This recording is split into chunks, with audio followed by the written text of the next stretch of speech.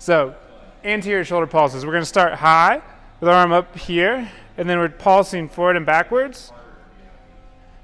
Making sure body stays still, really good tension, getting everything moving from the whole front of the chest, front of the arm. And then you'll work your way all the way back up. Check your sheet for sets and reps. And with this movement, it's good to mix up where your arm is. Sometimes have it high, sometimes have it low, have it everywhere in between. So session to session, you can make some changes and that's gonna be useful for overall health of the shoulder.